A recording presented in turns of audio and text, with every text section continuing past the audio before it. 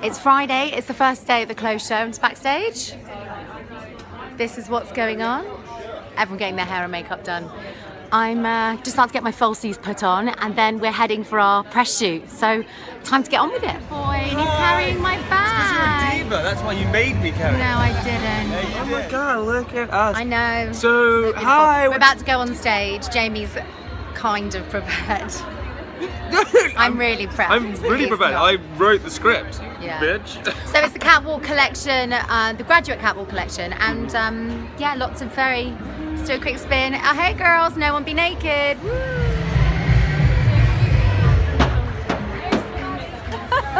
oh, hey.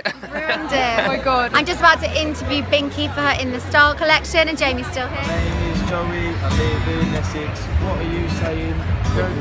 Backstage and I'm in between shows. Time for a little cup of tea. Should I try and introduce it to my lingo? Yeah, I think you should. Okay, so I'll see you later. I'll be like, hey, come, to looking the fusy. Fusion, come to the Fusion stand, innit? Yeah, yeah, Get yeah. fused. So it's the end of our first day.